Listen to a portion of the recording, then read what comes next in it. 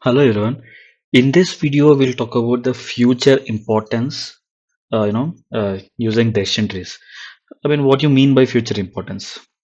So we already seen when we are talking about the linear regression using stats model, right? So when we build, uh, print the, you know, the model summary, so we used to get the p-value, right? So if the p-value is greater than 0.05 and we are considering that particular column future don't have any significant, right? So what we'll do we can simply remove that uh, particular column.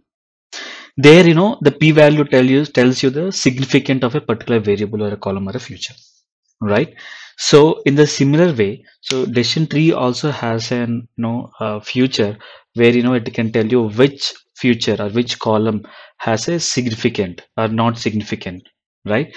So when we are talking about you know the Gini and entropy in one of our initial videos so based on that, you know, uh, the information gain, Gini, or whatever the criteria we choose, right? It will tell you the best split, right? The root node, all those things, right? Based on the information gain. So the more the information gain, the more the value of that particular column, right? And that would be used as a best split. So now how decision trees will tell, you know, the particular column has more future or more importance. It is very important as so and so column has no importance. So obviously based on the information gain, right? That we already discussed. And, you know, so there is one more, you know, uh, called feature importance. So this DT1 is our uh, you know, the model. So if you run this, you will get something like this zero. Zero means there is no importance, but like we don't know which column this value belongs to, right? So let me data dot columns. Oops. Let me make it code. Maybe I'll say head. It will be good. So this zero belongs to pregnancy. This 0.6 belongs to glucose, right? So there is a way. So now here we uh, created, uh, you know, empty dictionary for futures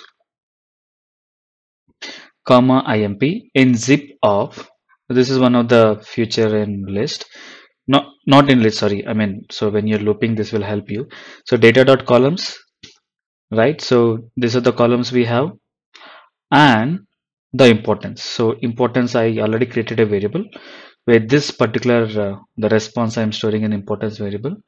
And then i'm storing the so future means very first time we'll get you know uh, the pregnancy glucose something like that right? So now when you see this so for pregnancy it says zero which means there is no importance at all so let me copy this and print my decision here so that we can relate this right and let us see for glucose it give on the most significant which is almost somewhere around 69 percent so compared to other uh, columns that's why this glucose is our root node, right?